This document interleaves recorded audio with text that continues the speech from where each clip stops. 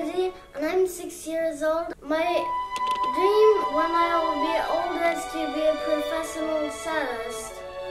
I love coming to the world of Heartbeat Music Academy.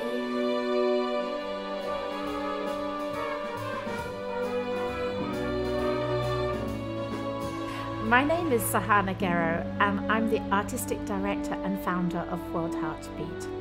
I founded World Heartbeat as a charity in order to give children that wouldn't have the chance to learn a musical instrument that chance.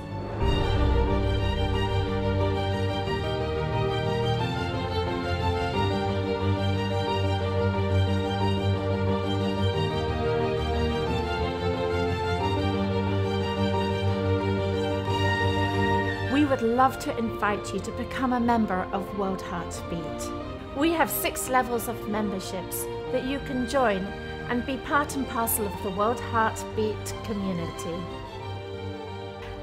At a time when we're experiencing huge cuts to music and arts education, your support is more vital than ever.